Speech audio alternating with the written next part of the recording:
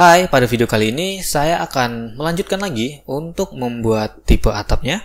Ya, kali ini saya akan mencontohkan untuk membuat tipe atap spandek seperti ini. Oke. Nah, seperti ini. Oke, kita mulai. Seperti biasa, jangan lupa untuk memastikan layernya sudah benar. Ya, ini saya aktifkan layer roof. Oke. Yep. Kemudian saya akan bekerja dari tampilan atas seperti ini. Nah, oke, kita buka lagi.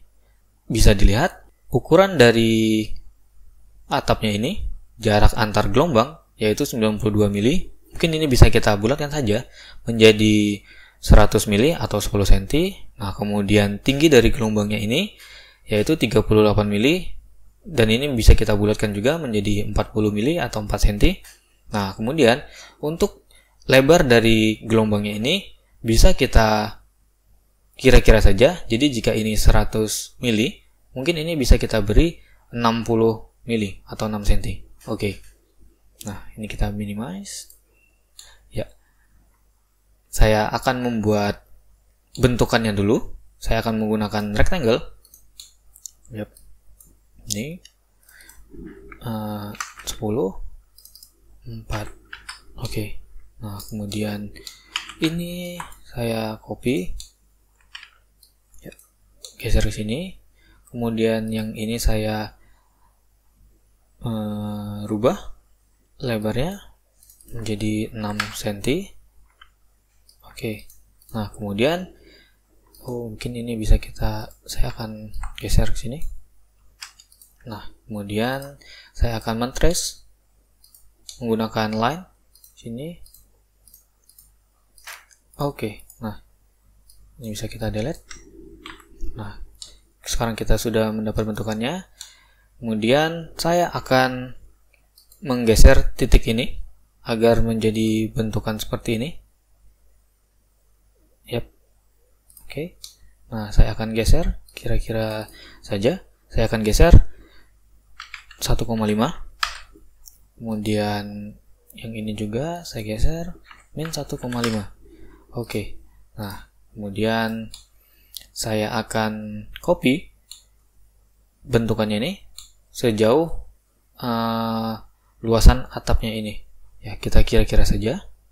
Ya ini saya copy sini sebanyak 150 Oke, saya rasa cukup. Nah, kemudian selanjutnya bisa dilihat uh, bentukan ini masih menjadi satu kesatuan objek yang berbeda. Ya, kita harus me menyatukan dulu objeknya ini menjadi satu kesatuan objek. Caranya kita pilih semua, kemudian kita isolate. Nah, kemudian pilih salah satu objeknya, kemudian di sini pilih attach multi kemudian akan muncul tampilan seperti ini, kemudian Ctrl A, kemudian klik attach. Nah, sekarang sudah menjadi satu kesatuan objek, namun masih belum menjadi satu elemen. Nah, oke. Okay. Nah, caranya kita bisa menjadikan satu elemen dengan cara titik ini bisa dilihat di sini masih terdapat dua vertex di mana yang seharusnya hanya satu vertex. Nah, ini bisa kita well caranya dengan klik kanan. Terus well vertex namun di sini kan uh, banyak vertexnya nah jadi untuk cara cepatnya ini bisa kita kontrol A kemudian klik kanan well vertex oke. Okay. nah jika sudah kita beri extrude. Nah extrude ini bisa kita kira-kira juga kita beri saja hmm, 12 meter oke. Nah kemudian kita beri shell untuk ketebalannya. Ya, di sini saya centang. Nah untuk ketebalannya 1 cm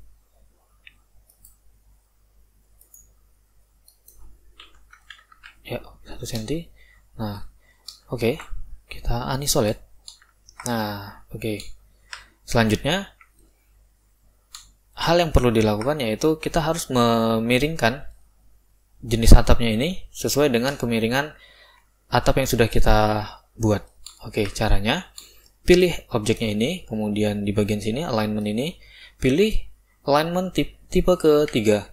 Oke, kemudian pilih bidangnya, bidang yang ingin kita pindahkan, klik ini, kemudian klik lagi di area yang menjadi acuannya, yang area biru ini.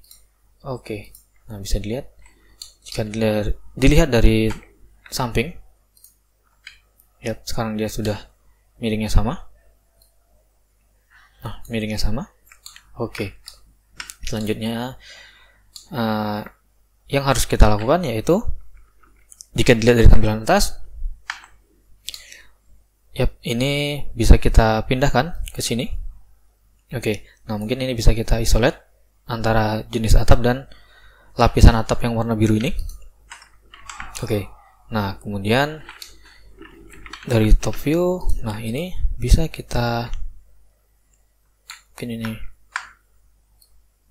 Ya seperti ini. Nah ini kita geser. Oke. Ini bisa kita geser. Paskan di sini saya akan paskan di sini.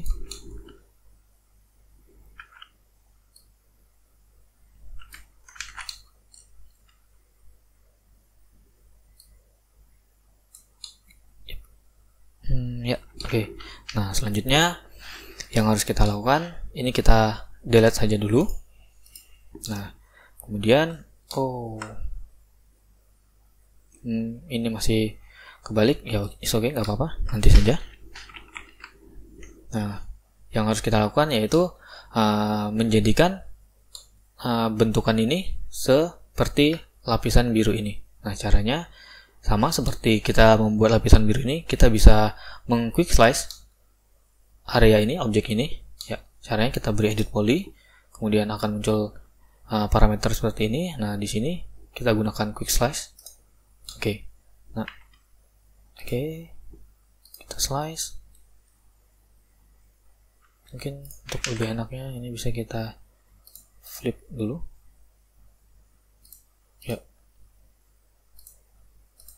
kita slice. Dan ini juga kita slice ke sini. Kemudian ini kita slice ke sini. Yang ini ke sini.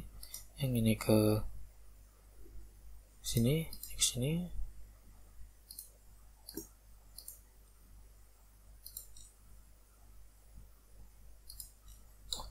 iya oh ini satu lagi Hmm. Oh, mungkin ini bisa kita convert saja menjadi editable poly. Nah, kemudian ini kita slice. Oke. Okay. Iya. Oke, okay, ini juga, ini sudah, ini sudah. Yap, ini sudah. Oke, jika sudah, kita gunakan ini, selection yang keempat, kemudian kita hapus area yang tersisa ini. Oke, bisa kita hapus. Nah, yang ini juga. Iya,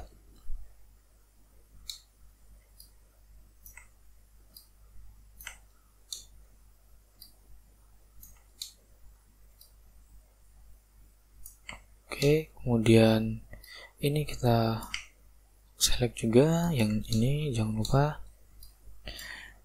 Oke, jika sudah semua delete. Nah, kemudian ini bisa kita pindahkan ke atas ini. Iya. Oke, nah kemudian kita bisa beri ketebalan lagi dengan memberi sweep. Eh, maksud memberi shell Yuk.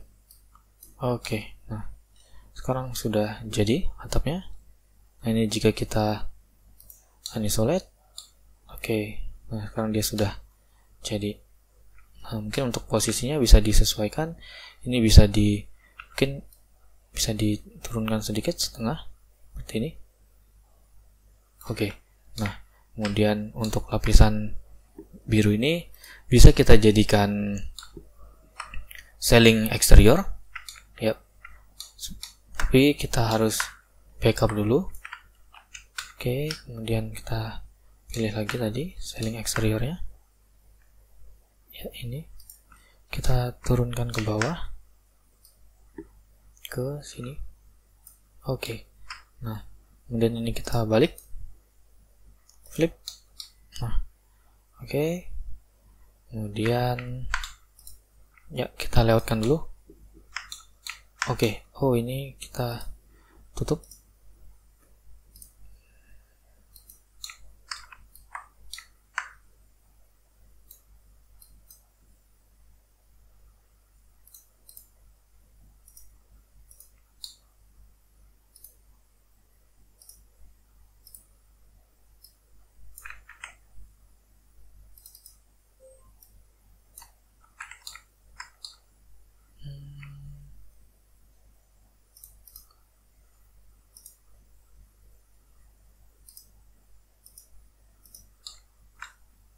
ini.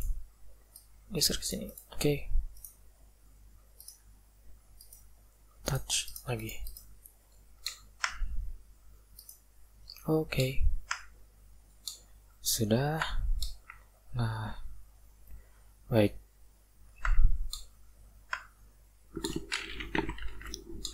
Sekarang kita sudah memiliki atapnya seperti ini. Nah kemudian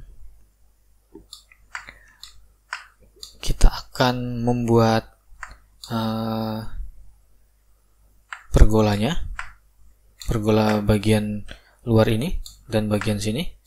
Oke okay, uh, namun sebelumnya saya rasa kita harus membuat ceiling dulu atau plafon bagian luar ini sekalian. Ya. ini bisa saya isolate. Oke okay, seperti ini. Kemudian dari tampilan atas Nah ini kita slice lagi. Oke. Okay.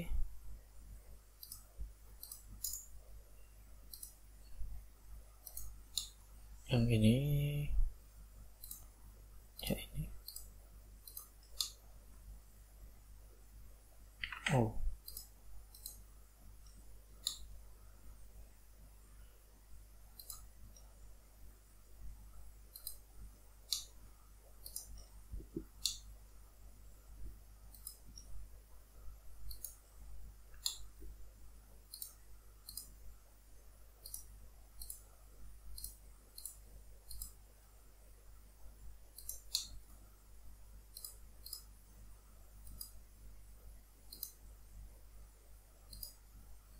Oke.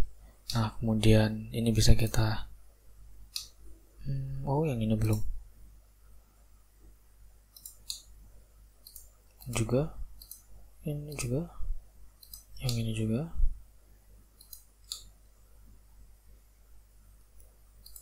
Ya ini juga. Ini. Terakhir. Oke. Okay. nah jadi area dalam ini bisa kita hapus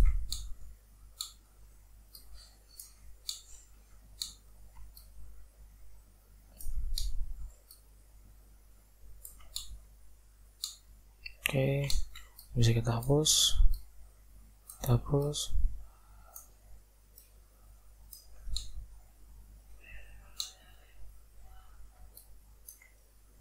Oke, ini juga.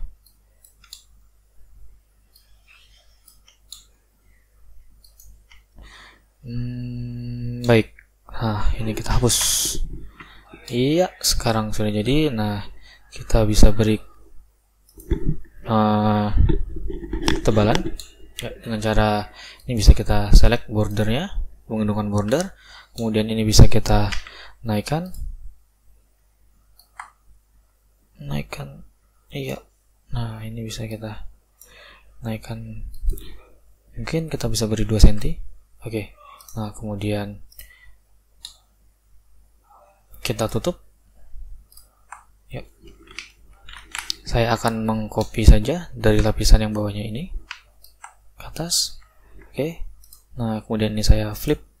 Nah kemudian pilih vertexnya kemudian Ctrl A. Well bisa dilihat di sini.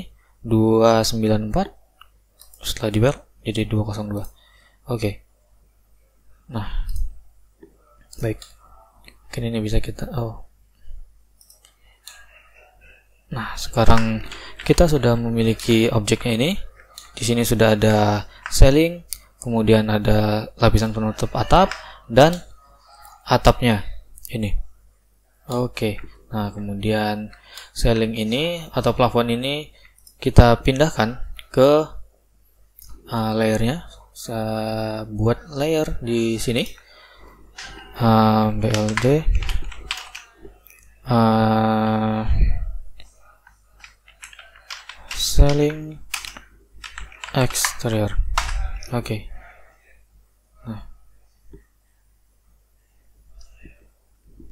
oke. Okay.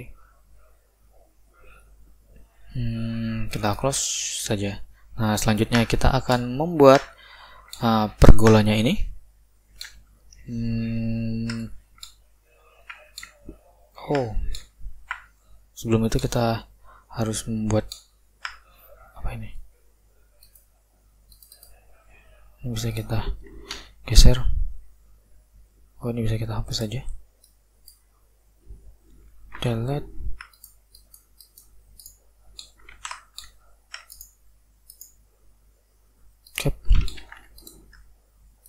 oke.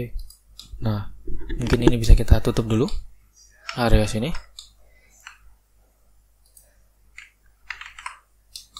Oke. Nah ini bisa kita beri pakai rectangle. Kemudian ini yep, dari sini. Ya ini bisa dari samping. Ini kita turunkan di sini. Nah kemudian kita bisa beri ketebalan. Hmm, kita bisa beri ketebalan kita bisa beri extrude. Min 10 atau min 5 saja. Oke. Okay.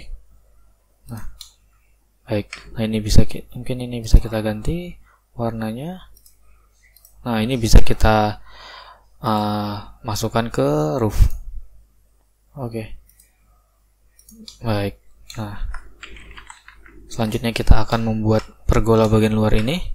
Namun, saya rasa uh, saya akan mencontohkan atau menjelaskan cara membuat pergola ini pada video selanjutnya. Karena saya rasa cukup untuk video kali ini. Ya, baik. Uh, sekian dan terima kasih.